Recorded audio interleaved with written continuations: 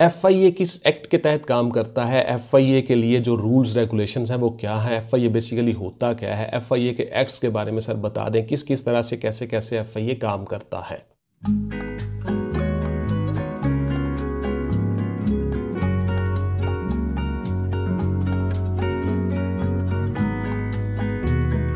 F I ए क्या है? इसके मतलब मालूम दे दें। और कौन कौन से डिपार्टमेंट को ये डील करता है? एयरपोर्ट पे भी एफ़ आई ए होता है इमिग्रेशन में एफ़ आई ए होता है, आपकी तहकीकात के लिए एफ़ आई ए होता है।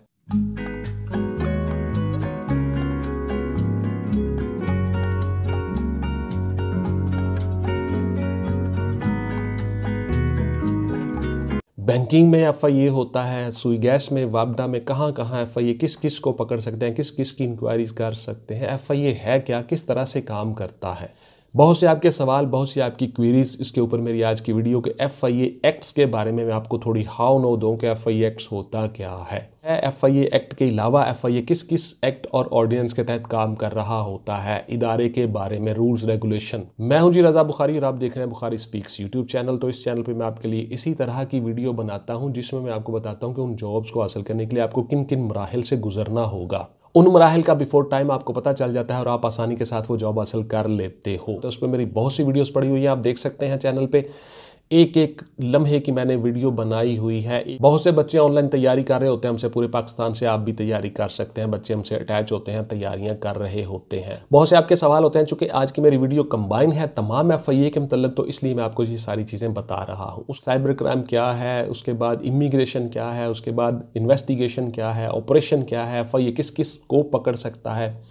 किस किस के खिलाफ इंक्वायरीज कर सकता है, ये पे मेरी डिटेल्स है और वीडियो पड़ी हुई है चैनल पे, आप देख सकते हैं। मैंने एक एक अलग अलग शोबे की वीडियो बनाई हुई है। एफ़ आई ए की पार कितनी है इख्तियार कितनी है किस किस डिपार्टमेंट को पकड़ सकता है, इस पर मेरी वीडियोज़ पड़ी हुई हैं चैनल पर आप देख सकते हैं।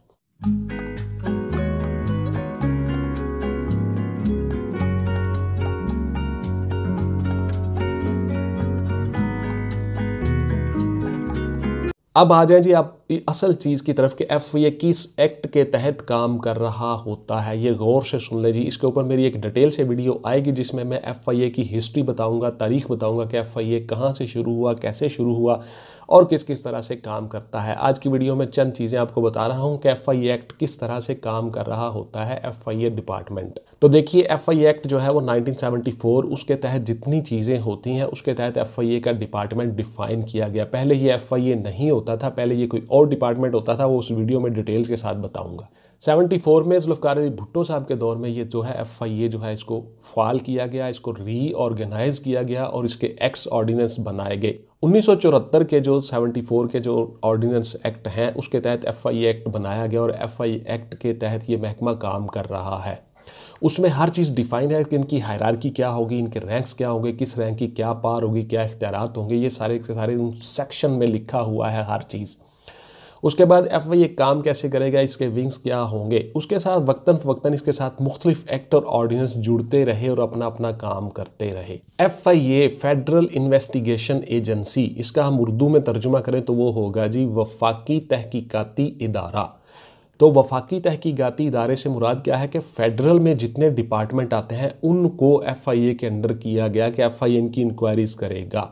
उसमें पाँच, सात, दस डिपार्टमेंट जितने भी शामिल है, उसमें मेरी अलग से वीडियो पड़ी हुई है, डिटेल से वो देख लीजिएगा कि एफ़ आई ए किस किस डिपार्टमेंट के ख़िलाफ़ एक्शन लेता है। उसमें बैंकिंग सेक्टर है, उसमें सुई गैस है, उसमें वापटा है, उसमें इस तरह के ऐसे ऐसे तमाम जितने भी हैं, वफाक के अंडर आने वाले उन सब की इंक्वायरीज़ एफ़ आई ए करता है।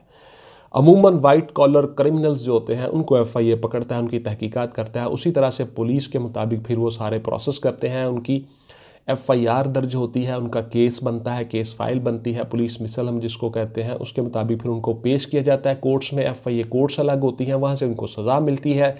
वो जुडिशल चले जाते हैं या बरी हो जाते हैं, जो भी सज़ा उनको मिलनी होती है। इस तरह एफ़ आई ए एक एजेंसी के तौर पर काम कर रही होती है। साइबर क्राइम एक्ट और है जी। उस एक्ट के तहत भी एफ़ आई ए काम कर रही होती है। एफ़ आई ए को ये एक्ट दिया गया कि साइबर क्राइम के मुतल भी आप ही डील करोगे। बहुत से बच्चे आप में से सवाल करते हैं कि क्या सर मैं साइबर क्राइम में जा सकता हूँ?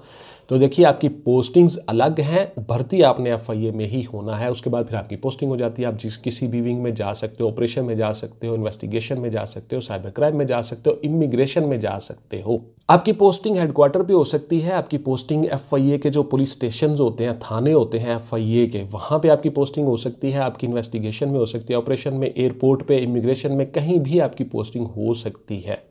ये इंटरनल इश्यूज़ होते हैं एफआईए के। भर्ती आपने फेडरल इन्वेस्टिगेशन एजेंसी में ही होना होता है, मुख्तलिफ़ रैंक्स पे।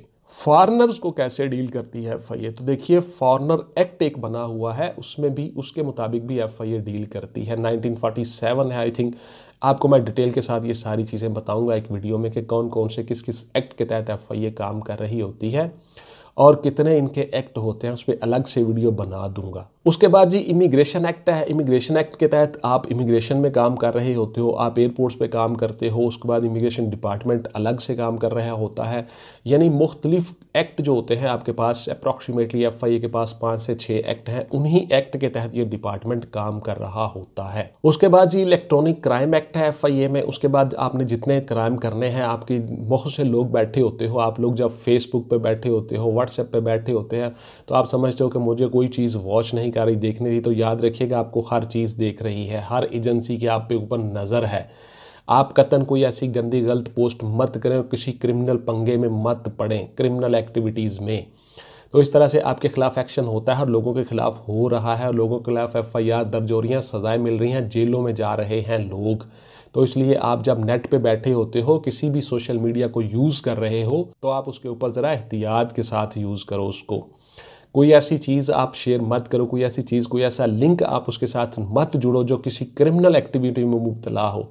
आप फंस सकते हो, आपके खिलाफ कार्रवाई हो सकती है क्रिमिनल एक्टिविटी के खिलाफ।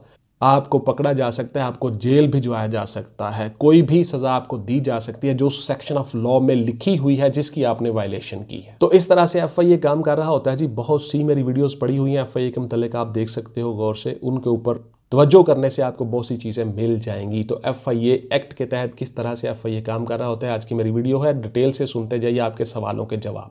एफ़ आई ए कब बनी थी? मैंने आपको बता दिया जी F I A seventy four में इसको रीऑर्गेनाइज किया गया था जुल्फ़ार अली भुट्टो साहब के दौर में। अल्लाह उनको अपनी जवार रहमत में जगह दे। तो उस वक्त जो है वो प्राइम मिनिस्टर ऑफ़ पाकिस्तान थे, उन्होंने इसको रीऑर्गेनाइज़ किया और इस तरह से उनको एफ़ आई ए को फ़ाल किया था।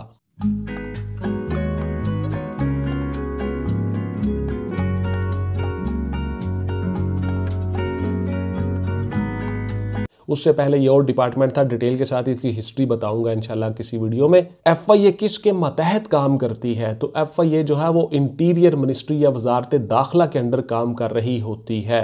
इंटीरियर मिनिस्टर होते हैं, हमारे ऊपर बैठे हुए, उनके तहत एफ़ आई ए काम कर रही होती है और दीगर एजेंसीज जो लॉ इन्फोर्समेंट एजेंसीज है सिविलियन वो सारी की सारी इंटीरियर मिनिस्ट्री के तहत काम कर रही होती हैं। शेख रशीद साहब हैं आजकल शायद इंटीरियर मिनिस्टर उनके तहत ये काम कर रही होती हैं। तो इस तरह से हर महकमा जो होता है, उसकी एक मिनिस्ट्री होती है, एक वजारत होती है, वो उसके तहत काम कर रहा होता है। बहुत से आपके सवाल होते हैं कि सर मिनिस्टर बड़ा होता है या डीजी बड़ा होता है?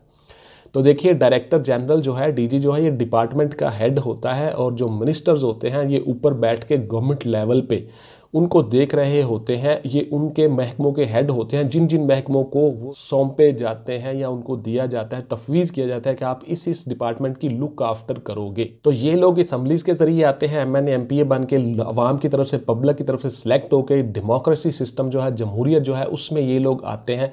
ये हमारा पॉलिटिकल सिस्टम अलग से है कि पॉलिटिशियंस क्या करते हैं। ये सारे के सारे वहाँ पे कवानीन बनाते हैं असम्बलीज में बैठ के और डिपार्टमेंट्स के हेड लगाए जाते हैं मिनिस्टर्स बाकी जो हमारे डीजी होते हैं या चेयरमैन होते हैं या सेक्रेटरीज होते हैं, ये सारे के सारे ऑफिसर्स होते हैं सी एस करके एग्ज़ाम दे के आते हैं। ये अलग प्रोसेस है।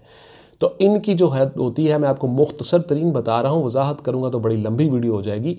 इनकी जो होती है, जो हमारे डीजी होते हैं चेयरमैन होते हैं सेक्रेटरी होते हैं एडिशनल सेक्रेटरी होते हैं, महकमों को हेड कर रहे होते हैं, ये सारे के सारे सी होते हैं सी करके आते हैं फेडरल प्रोसेस कमीशन के थ्रू या पब्लिक सर्विस कमीशन के थ्रू रैंकर होते हैं, वो भी ऊपर आके प्रमोट होकर वहाँ पे सीटों में आ सकते हैं।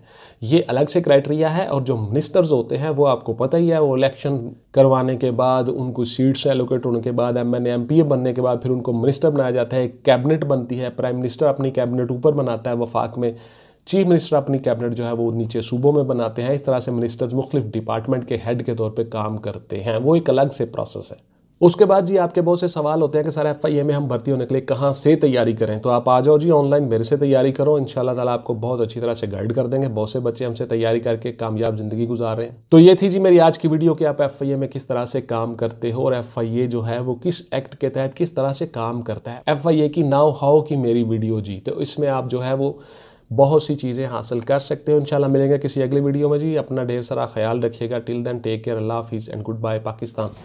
जिंदाबाद